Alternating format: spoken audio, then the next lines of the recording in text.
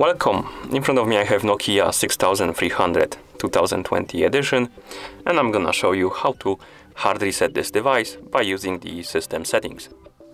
First we need to open the settings. To do it, press the middle button on the directional pad to open the app menu. Now scroll down by pressing the down button on the directional pad.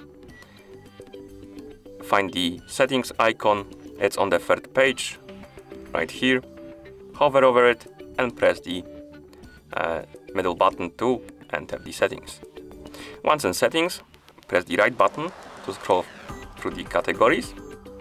Select the category called device. Then make sure that the device information is selected. If it's not, you can use up and down buttons to scroll up and down. Select the device information and press the middle button to enter. Here, scroll all the way down, select the option called reset phone and press the middle button. Now let's press the right selection button to reset the phone.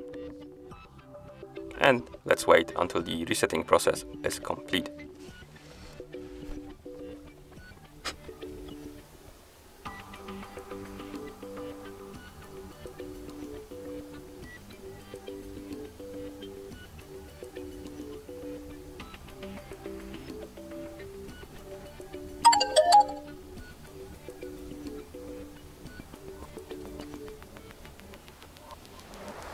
And once you see the list of languages right here on the screen, that means that the hard reset is complete.